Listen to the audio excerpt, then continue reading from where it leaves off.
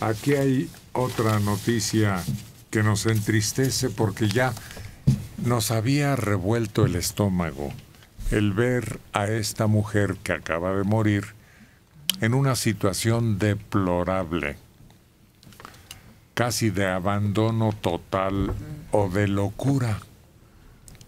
Almadelia Fuentes muere en esta capital el 2 de abril de 2017.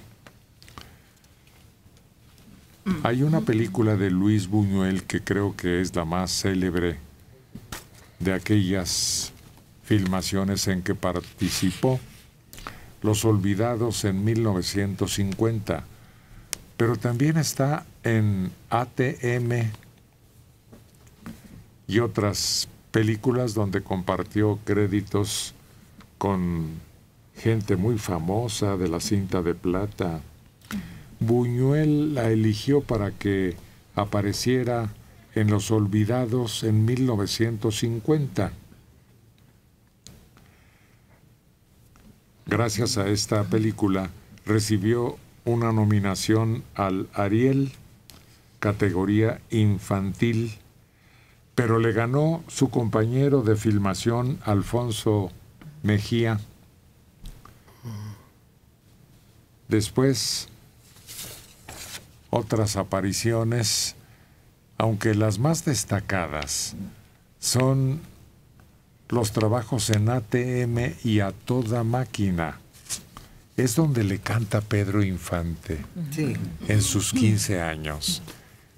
Y la canción y el galán se eternizan en esa escena. Que ella está enamorada de él, pero como él tenía un, un sino muy negro, No, termina, sí, ella todavía no está enamorada de él, ella está enamorada del amigo. Y le dice, no te preocupes, en esa edad el corazón es como una esponjita. una esponja. Sí, sí, sí.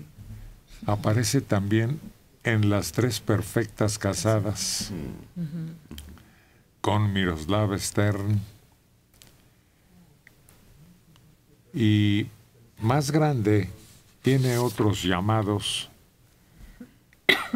Siendo todavía muy joven, decide dejar la actuación para dedicarse a su familia. Su fue una carrera muy productiva, aunque muy breve, y abarcó todo tipo de géneros.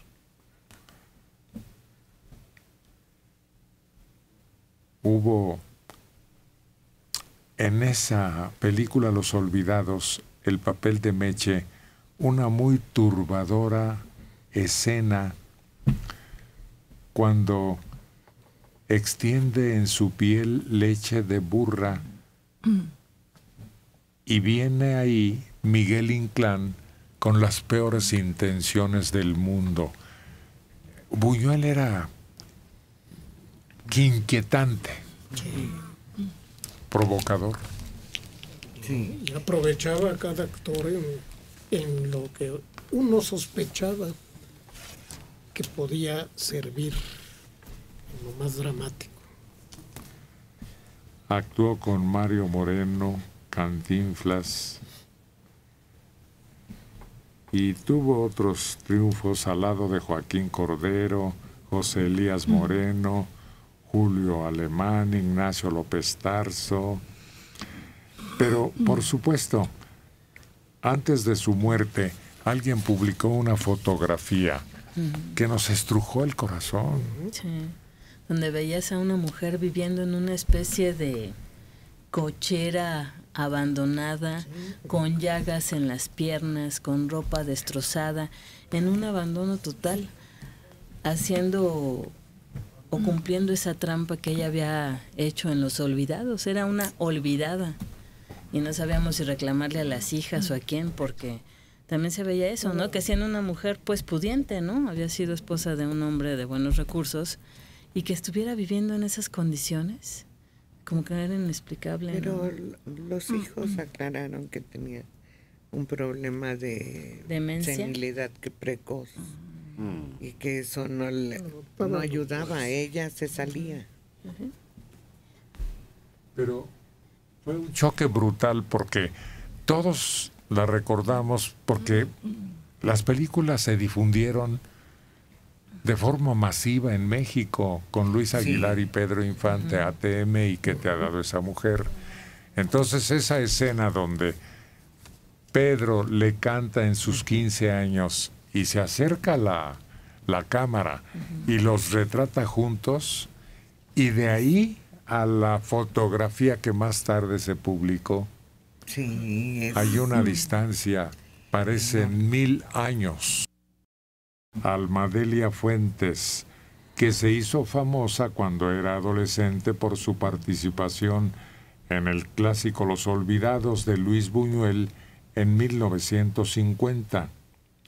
Vivió algunos años en total abandono dentro de una casa en el Estado de México.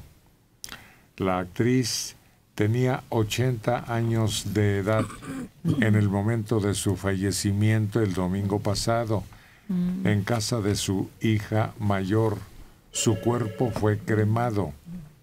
Apenas el primero de enero pasado, la revista Proceso informó que la actriz había desaparecido de su casa donde vivía. De acuerdo con versiones de los vecinos que la cuidaban y visitaban, la misma publicación había documentado en 2015 el estado de abandono en que vivía.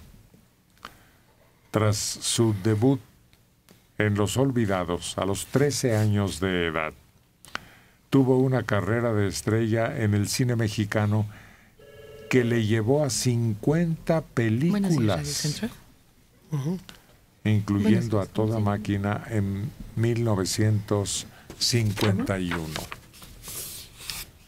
Oye, tenía 14 años cuando hace esa película. Sí, pues eran puros niños. El ganador del premio principal era su compañero de actuación. Y todos los demás, creo que el Jaibo, el que interpreta Calambres, era el de mayor edad entre ellos. Y ya era profesional. Sí. Sí, ya. Sí. Roberto. Roberto Cobos, ¿no? Un villanazo. Que pensar, no se moriría porque la sacaron de su casa.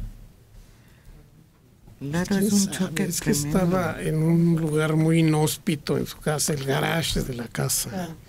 Y ahí había los animales, frío.